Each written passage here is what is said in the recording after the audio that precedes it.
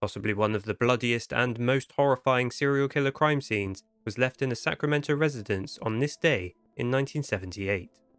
Richard Chase was known as the Vampire of Sacramento, a troubled man who probably consumed gallons of the red liquid procured from both animals and humans during his lifetime.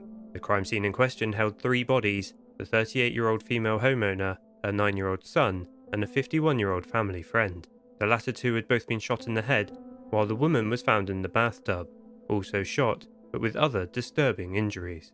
Her abdomen had been sliced wide open, her internal organs stabbed directly, and there was evidence the knife had been used to sodomize her.